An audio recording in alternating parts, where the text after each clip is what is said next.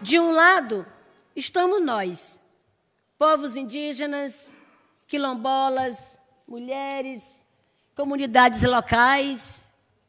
Do outro lado, estão as máquinas do poder, do poder econômico e do poder político, que tentam a qualquer custo facilitar o acesso para a exploração dos recursos naturais.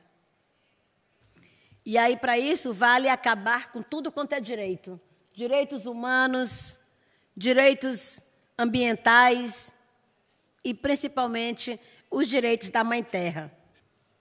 E nós precisamos colocar o nosso projeto adiante, defender a Mãe Natureza, defender a Mãe Terra, para assim a gente também evitar a chegar a um grau e meio que o mundo inteiro conclama.